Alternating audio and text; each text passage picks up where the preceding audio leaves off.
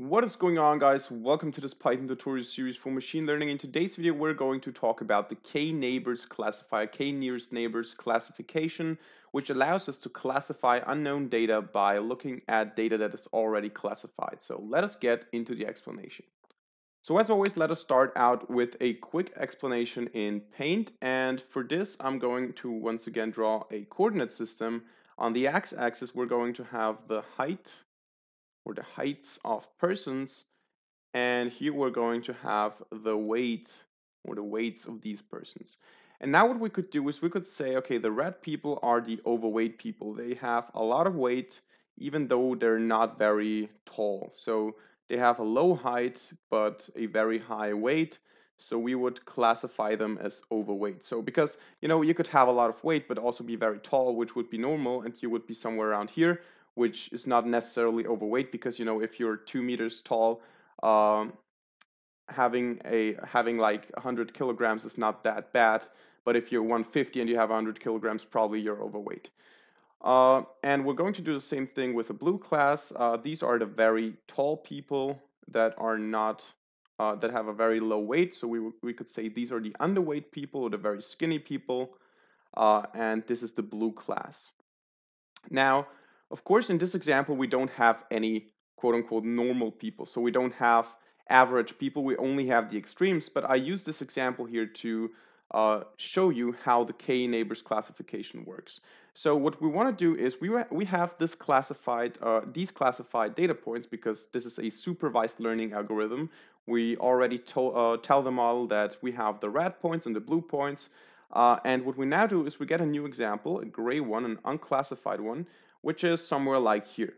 And we want our model to now say, is this point a blue point or a red point? Is this person overweight or underweight uh, or skinny, basically? Uh, and this is what k-neighbors does for us. It looks at the neighbors to determine if this point is a red point or a blue point. Now, we as humans would immediately classify this point to be red rather than blue.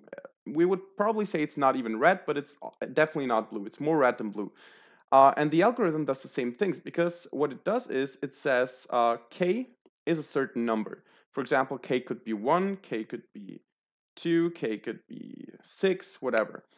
Uh, and what it does is it takes k amount of neighbors to compare uh, the unknown point to. So it says, okay, the nearest neighbor is this one. And if k is 1, it only looks at this one point and says, okay, this point is red, so you're red. Then if k is 2, it looks at the second nearest point and the third nearest point and so on.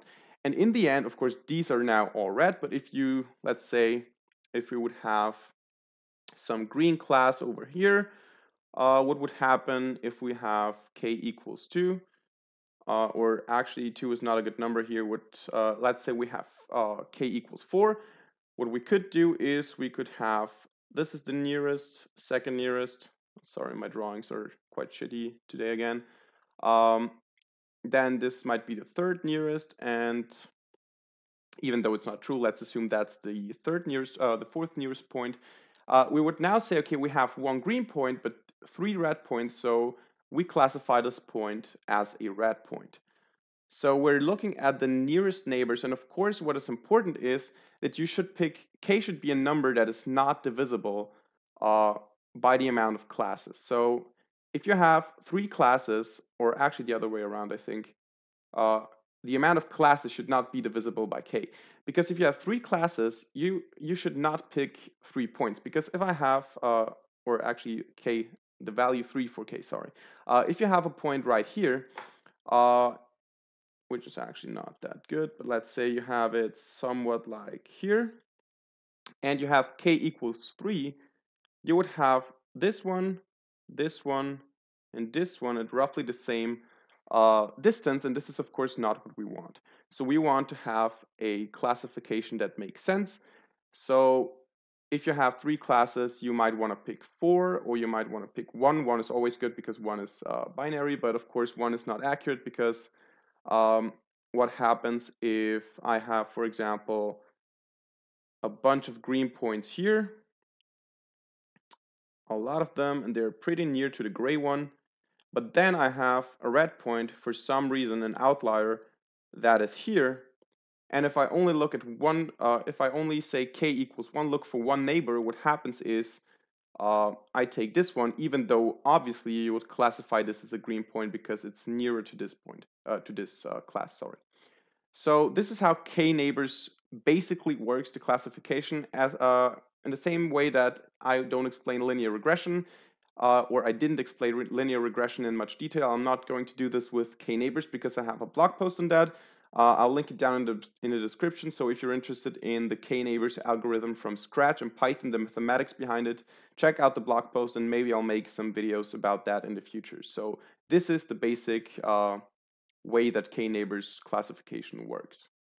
Now let us look at a practical example in Python of the k-neighbors classification. And we're not going to classify overweight people, we're going to look at a data set that comes from scikit-learn, and this is the breast cancer data set. This data set has a lot of parameters about cancer, about different tumors, and it classifies tumors as either malignant or benign, so either bad tumors or good tumors. Um, and we're going to do that with the k-neighbors classification. So what we're going to do is we're going to say from sklearn.datasets import, and we're going to import load breast cancer. This is the function to load the dataset. Uh, and also we're going to import sklearn from sklearn.neighbors import k-neighbors classifier. And maybe we're also going to need numpy. Who knows? Maybe not. And one more thing, we need to import from sklearn.model selection import train test split so that we can uh, split our data into training and test data. Um, yeah, so what we're going to do first is we're going to get a look uh, on the data. So we're going to take a look on the data and see what it looks like. We're just going to say data equals uh, load breast cancer. Now we're going to say print data. So let's go ahead. It's a little bit laggy right now so that we can see what kind of columns and what kind of data we have in here. Okay, this is the data itself. I think if you want to know the features, we've gotta say data.features and data.targets to know the targets. I think this is how it works.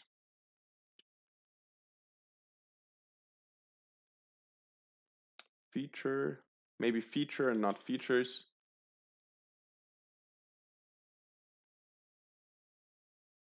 No, it's also not true. What did I do in the example? Oh, sorry, feature names, feature names. Feature names and target names. Makes sense though. There you go. As you can see, these are the features that we have of a tumor. We have the texture, the radius, the area, the compactness, and all kinds of different uh, parameters that we can use to classify a tumor as either malignant or benign. And then we have the two classes, the two targets, malignant or benign. So bad, good, basically. Um, or harmful and not harmful. So uh, this is the data set that we have. And what we're going to do now is we're going to split this data set up into training data and testing data. So we're going to say xtrain, xtest, I think it was like that, uh, then ytrain and ytest equals train test split data. And we want to have a test size of um, actually we we do need data dot dot features I think. Or no actually we need data dot data. So we need to pass a numpy array of data dot data because this is actually the data is actually the feature data and the target is the target. So we gotta pass np array data data and np dot array data dot target. There you go, and the test size is 0.2. So basically what we're doing is we're saying take the data, which is uh, the feature data. So take all these parameters, all these rows of these values, uh, put them into a NumPy array, then also take all the results, all the classes, all the classifications, all the targets, and put them in another NumPy array, and then split 20% of that or put 20% of that into test uh, data and 80% of that into training data. So we split the data. Um, also, we shuffle a little bit in there because uh, the split is not always the same. It does not take the first 80 and the last 20. It shuffles around before it splits. So um, it's also a little bit randomized, which is good. And then we have this data here. We have the training data and the test data.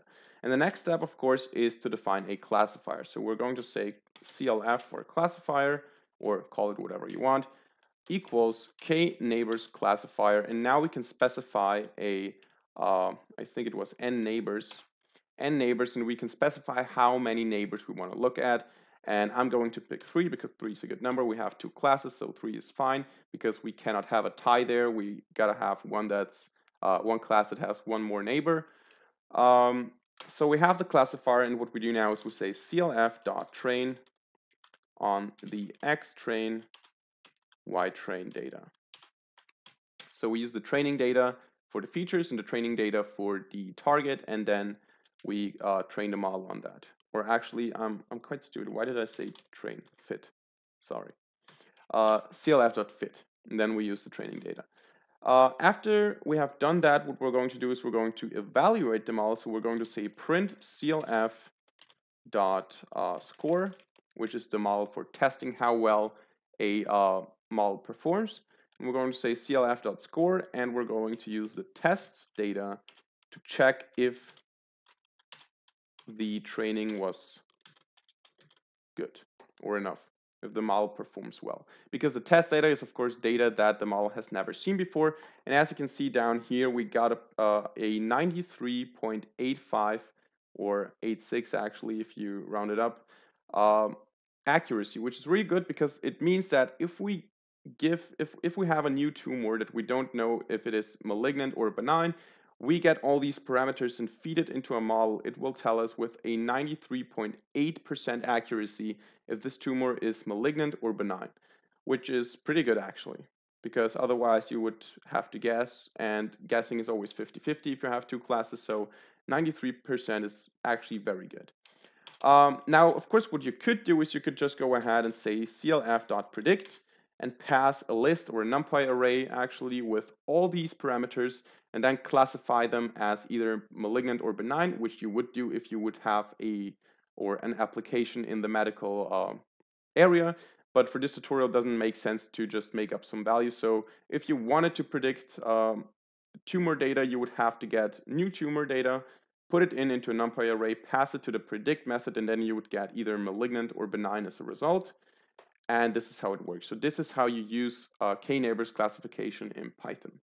So that's it for today's video. Thank you very much for watching. I hope you learned something. I hope you enjoyed this video. If so, hit the like button and support this channel with a like. Uh, also, feel free to ask questions and give feedback in the comment section down below. And of course, subscribe to this channel if you want to see more free videos in the future. So thank you very much for watching. See you in the next video and bye.